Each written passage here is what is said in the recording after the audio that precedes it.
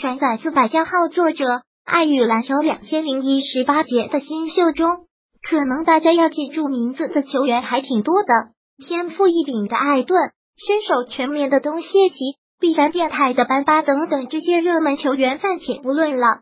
刚的骑士就汉化詹皇，重回总决赛了。塞克斯顿很霸气。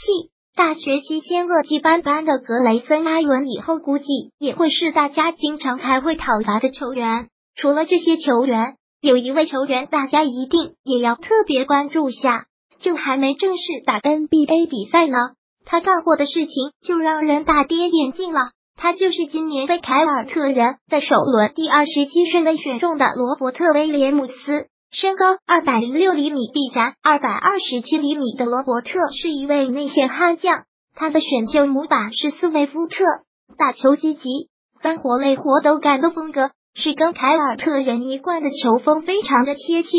但是他的行事风格却偏偏有点像马刺西靠拢了。球队选择完新秀之后，一般都会先给新秀们来次电话会议，介绍下球队的管理呀、上班的制度呀等等云云。这位罗宝特第一次电话会议就直接缺席了，而他缺席的理由很简单，因为睡过头了。这还不算完哟，球队第一次集合训练，这哥们也是华丽丽的缺席了。原因就是因为不可描述的理由错过了航班。很多球员都拼了老命的想要进入 NBA 好好表现自己，这哥们可倒好，刚开始就各种原因迟到和不接电话。实在是让人有点费解。然而，没过多长时间，罗宝特又开始向球迷秀起了操作。他居然在两天里连续弄丢了两次钱包。第一天，他把钱包落在了酒店里，直到登机前他才发现。最后又火急火燎的返回酒店就找钱包。仅仅一天后，他又把钱包给落在了大学校友那里。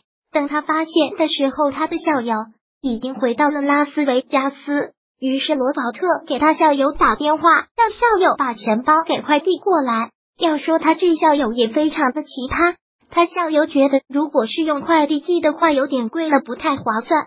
结果他校友开了三个小时车程把钱包给亲自送来了。不太了解美国那边的情况，这三个小时的路程邮费都比快递费贵好多吧？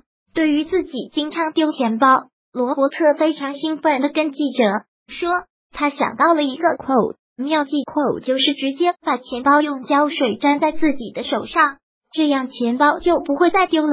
而对于自己会迟到的问题，罗伯特解决的方法是在凯尔特人的训练馆附近租了一个房子。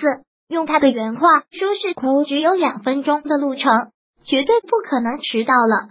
q u o 这样一位奇葩的球员，大家新赛季里。”一定要多关注他的新闻，指不定他又会搞出什么幺蛾子的事情出来。